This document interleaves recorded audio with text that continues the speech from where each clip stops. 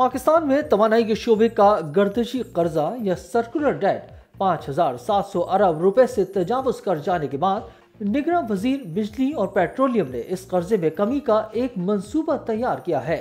दूसरी जानब ये इंकशाफ भी हुआ है कि बिजली के शोबे में दी जाने वाली सब्सिडी का बड़ा बोझ दीगर सार्फिन पर डाल दिया गया है। पाकिस्तान में बिजली और गैस की कीमतें बढ़ाए जाने के बावजूद सर्कुलर डेट में मुसलसल इजाफा हो रहा है और ये पाँच हज़ार सात सौ अरब रुपए से तजावज कर गया है, जिसमें गैस के शोबे का गर्दिशी कर्जा तीन हज़ार अरब रुपए है। जराये ने बिज़नेस रिकॉर्ड को बताया कि निगरान वज़ीर बिजली और पेट्रोलियम ने गर्दिशी कर्जे में कमी का एक मंसूबा तैयार कर दिया है। इसमें ज़्यादा तवज्जो सरकारी शोबे की कंपनियों पर दी जाएगी।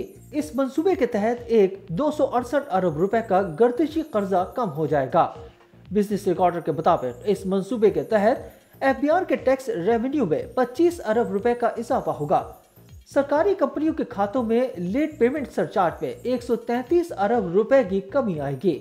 इस मंसूबे को बजट न्यूट्रल करार दिया जा रहा है, तहम इसके लिए फंडिंग की ज़रूरत पड़ेगी।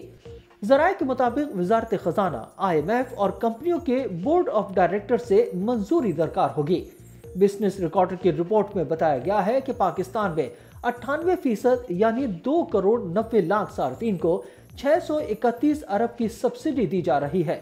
इसमें से हुकूमत पाकिस्तान एक सौ अड़सठ अरब रुपए देती है, जबकि बाकी बोझ घरेलू और कमर्शियल सार्फिन पर डाला जाता है। जराये का कहना है कि मौजूदा निर्कों के नतीजे में माशी बहरान का खदशा है। पाकिस्तान सनती सार्फिन को मुसाबकती निर्क नहीं दे रहा।